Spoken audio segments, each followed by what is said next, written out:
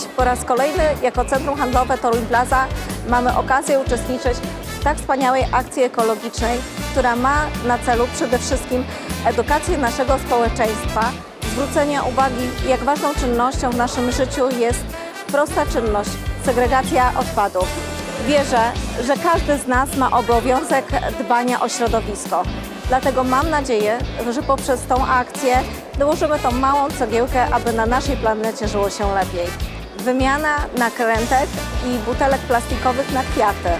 Na kwiaty, które są symbolem piękna, symbolem natury. Kwiaty, które pojawiające się w miejscu, w którym je postawimy, sprawiają, że nasze samopoczucie staje się lepsze. Chciałabym, aby Centrum Handlowe Toruń Plaza nie było kojarzone tylko jako miejsce zakupowe, ale stało się inspiracją.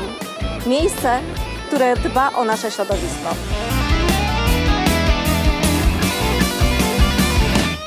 Jesteśmy przedstawicielami Toruńskiego Centrum Usług Społecznych. Udzielamy wsparcia wszystkim mieszkańcom Torunia, rodzinom naturalnym, rodzinom zastępczym, seniorom, osobom niepełnosprawnym. Przyczyniamy się do różnego rodzaju wsparcia w różnych akcjach organizowanych przez miasto Toruń, między innymi dzisiaj nasz udział w akcji Bądź Eko na jesień.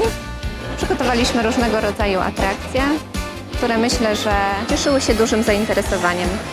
Działamy od 2022 roku i staramy się dotrzeć do jak największej ilości naszych mieszkańców właśnie przez udział w takich eventach bądź też przez organizacje własnych.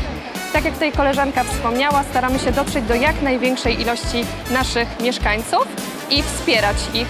Nie tylko tutaj osoby dorosłe, ale właśnie tak jak dzisiaj również naszych najmłodszych.